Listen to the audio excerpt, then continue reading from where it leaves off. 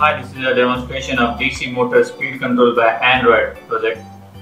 So here we can control the speed uh, of a DC motor by supplying uh, accurate amount of PWM and you know controlling the motor speed in uh, clockwise as well as anti-clockwise directions.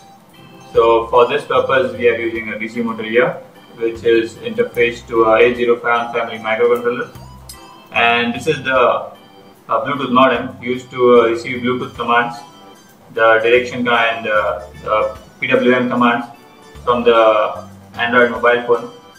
So when the Android mobile phone you know sends uh, commands through Bluetooth, uh, it's received by the Bluetooth modem and it uh, conveys it to the microcontroller, which then operates the DC motor through this motor driver here, and the entire system powered by a 12 volt transformer uh, we also have an LCD screen to display the status and uh, you know speed of the motor.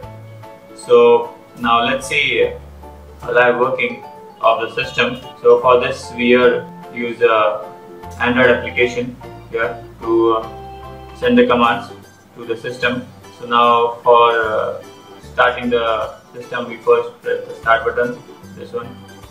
So on pressing the start button it says uh, motor started.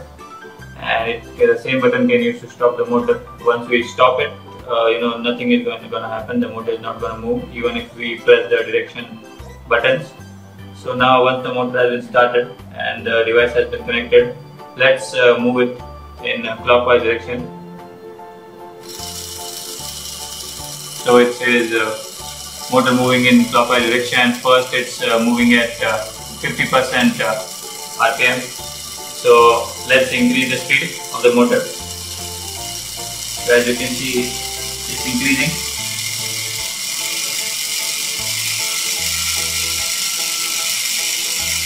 So now let's decrease the speed.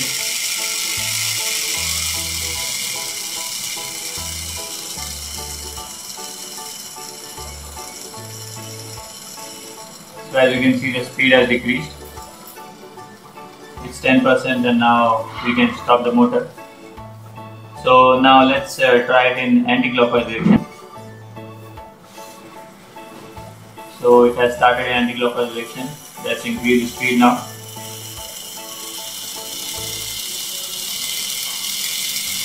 So as you can see, it's uh, you know similarly we can decrease the speed.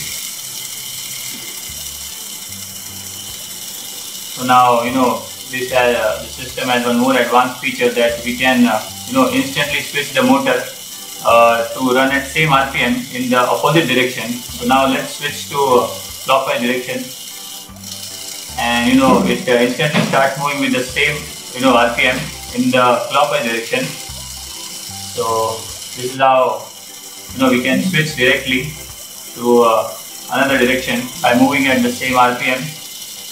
So so now let's stop the motor. So this is how DC motor speed control by Android application project works.